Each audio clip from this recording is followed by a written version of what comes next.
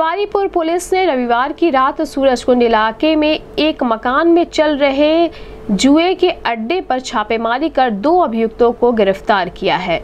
इनके पास से पुलिस ने पैतालीस हज़ार रुपए नगद और ताश की गड्डी बरामद किया है। मिली जानकारी के मुताबिक तिवारीपुर थाना क्षेत्र के सूरजकुंड इलाके में एक मकान में काफ़ी दिनों से जुआ का अड्डा चल रहा था, जिसकी सूचना स्थानीय लोगों ने एसएसपी को दी।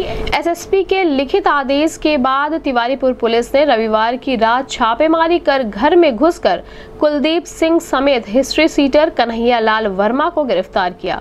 इस दौरान पुलिस को चकमा देकर मौके से चार व्यक्ति भागने में सफल रहे, जिनकी तलाश पुलिस सरगर्मी से कर रही है। इस मामले में तिवारीपुर थाने पर तीन बटा चार जुआ एक्ट में मुकदमा दर्ज किया गया है। गिरफ़्तार करने वाली टीम में प्रभारी निरीक्षक सत्य प्रकाश सिंह, उप निरीक्षक पंकज कुमार, उप निरीक्षक विकास सिंह, कांस्टेबल मनीष यादव शामिल रहे।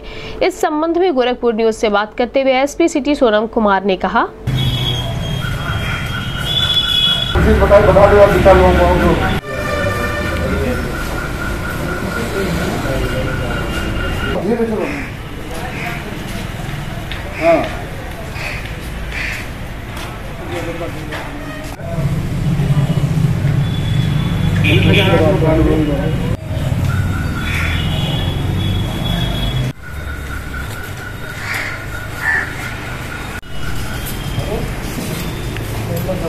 दो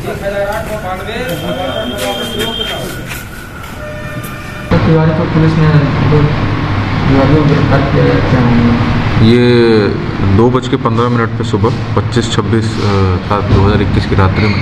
मुखबिर की सूचना पे दो जुआरियों को गिरफ़्तार किया गया है। उनके नाम है कुलदीप सिंह, पुत्र स्वर्गीय महेंद्र प्रताप सिंह और दूसरे हैं कन्हैया लाल वर्मा, पुत्र मैनेजर वर्मा, निवासी अधियारी बाग इनके पास से पैंतालीस हज़ार रुपये बरामद किए गए हैं और बावन ताश की गड्डियाँ भी बरामद की गई हैं। और इनको जेल भेजा गया है, मुकदमा अपराध संख्या अंठानवे बटा इक्कीस, धारा तीन बटे चार जुआ अधिनियम के अंतर्गत।